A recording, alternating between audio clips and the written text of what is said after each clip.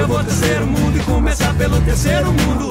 Transparente tecido, transparece o sentido. Puro mundo eficiente, porque esse é um absurdo. Mundo surdo, tá surdo mundo. É um absurdo, mundo surdo. É um mundo cego, eu não me entrego,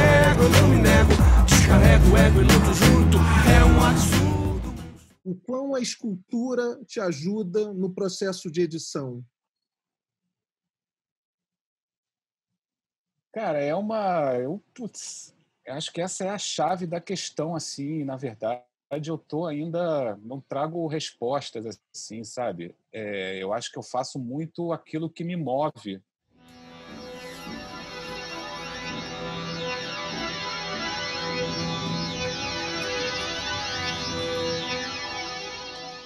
Eu sinto que todo esse meu background de montagem, eu intuitivamente aplico é, acho não, com certeza eu aplico é, na construção da peça, né? E, e vice-versa. E atualmente as peças, pelo seu poder de síntese e pela necessidade, né, de ser, porque a peça é um plano, né? É, eu, eu, vejo muito isso, a peça como um plano, né?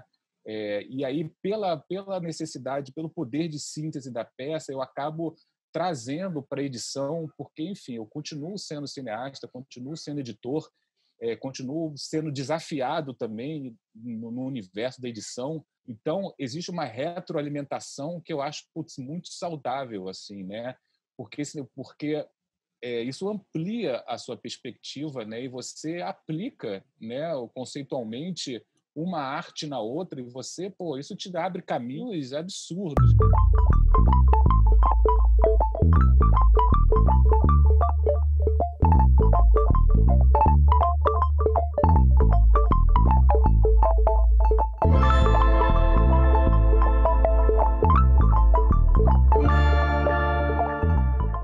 comecei essa história de, das esculturas e das peças muito por conta da minha relação com audiovisual e com cinema, assim, né? Acho que tudo começou um pouco, comecei a catar televisão pelas ruas, porque as televisões de tubo, né, começaram a ficar obsoletas e as pessoas não tinham o que fazer com elas e começaram a, a jogar fora nas ruas, né?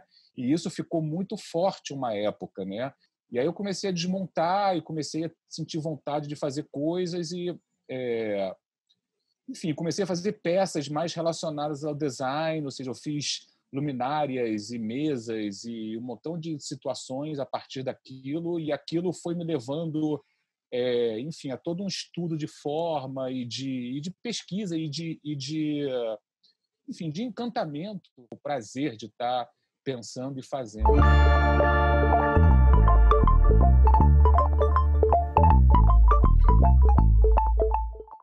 acho que no fundo eu sou um, um, cara, um comunicador, um cara que gosta de interagir com o mundo, com as pessoas. E aí existem várias plataformas disso acontecer, sabe?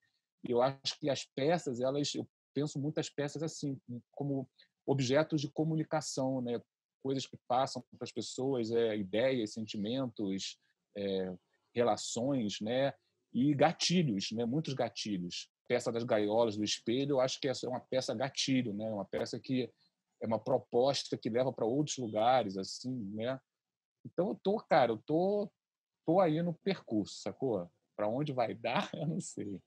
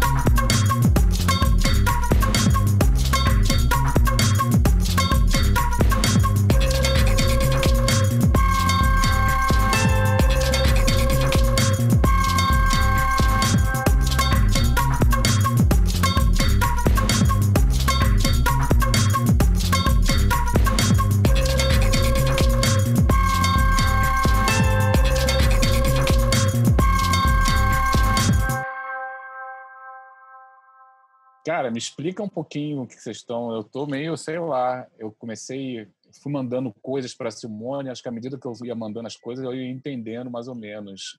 Né? Porque então meio... explica para gente que a gente está tentando entender e ainda não conseguiu.